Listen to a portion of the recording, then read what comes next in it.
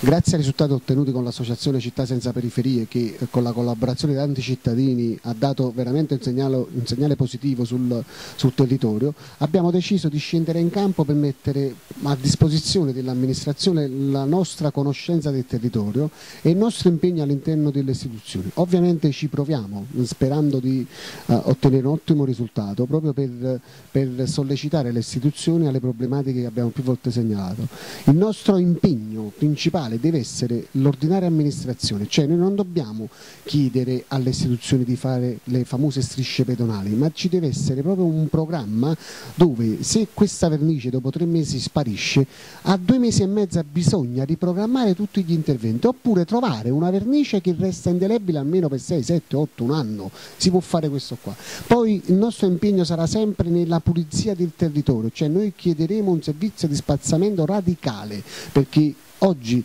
eh, sollecitare eh, i cittadini a ricredere nelle istituzioni è questa l'ordinaria amministrazione, quindi sarà proprio il nostro impegno primario.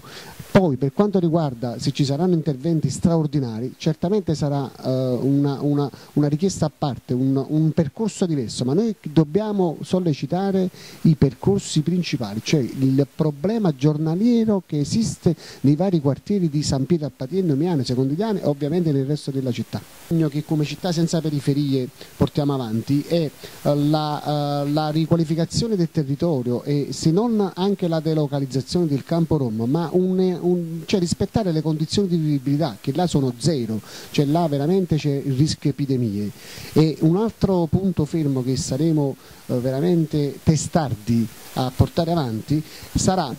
la questione delle buche, perché deve essere veramente preso in considerazione, uh, devono essere presi in considerazione alcuni tratti micidiali dove purtroppo ogni settimana affiorano buche, quindi come è avvenuto per Charles Lindenberg e come è avvenuto per uh, via Selva Cafaro, mettere in programmazione queste strade ed una di queste è proprio Cupa del segretario che è una, veramente un, un tappeto di rappezzi.